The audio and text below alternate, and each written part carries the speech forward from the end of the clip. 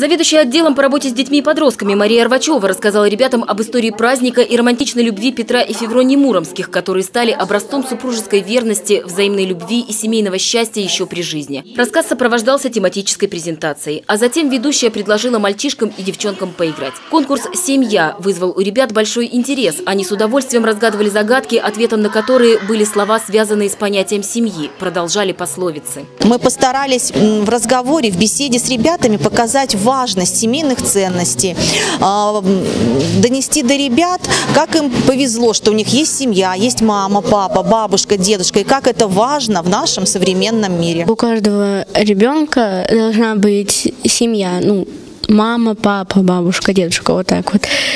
И ребенок не должен быть там сиротой, там, например. Ну, бывают, вот такие, бывают такие дети, у которых родители алкаши, бросают их. Это, ну, плохо. У каждого ребенка должна быть семья. День семьи, любви и верности – это праздник для того, чтобы семья любила всех, верила и верила во всех и поддерживала.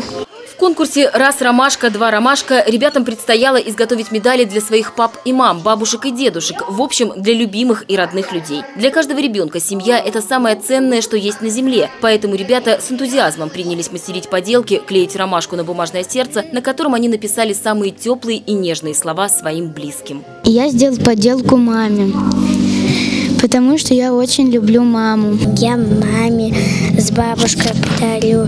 Вот это маме, а это бабушке. Детвора весело и шумно сыграла в старинную народную русскую игру «Ручеек разливается», а в завершении мероприятия им показали мультипликационный фильм «Песень моря», сюжет которого повествует о невероятной истории Бена и его сестренки Сирши. Вместе они пускаются в фантастическое путешествие сквозь исчезающий мир древних легенд и магии. Также мультик учит тому, как важна и нужна семья в жизни каждого человека.